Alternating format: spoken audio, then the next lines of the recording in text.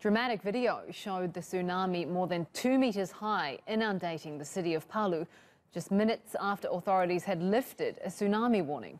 Five people are reported dead. Indonesia is prone to earthquakes because of its position in the so-called Ring of Fire. In 2004, a massive quake off Sumatra triggered a tsunami that killed 230,000 people across the Indian Ocean.